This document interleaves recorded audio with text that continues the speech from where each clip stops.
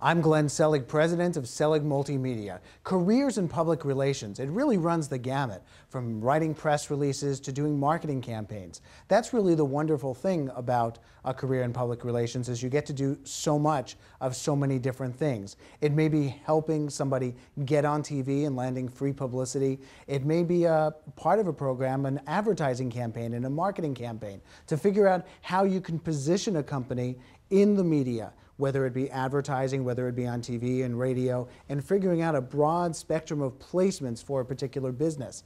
It's really a wonderful career because there are so many options and so many different firms specialize in so many different areas. So it's really an exciting thing to do. You get to do different things every single day and uh, there are really so many options out there for people who are looking for careers in public relations or exploring careers in public relations.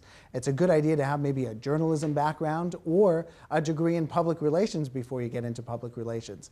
But there is so much to do and there's a great variety of things that you can put your hands into. But one final note, you should probably get the idea of starting at the bottom and then working your way to the top. It isn't the type of thing that you're going to own and run your own firm straight out of school. So it takes a lot of hard work, but it can be done. I'm Glenn Selig, president of Selig Multimedia, and now you know what it's like to have a career in public relations.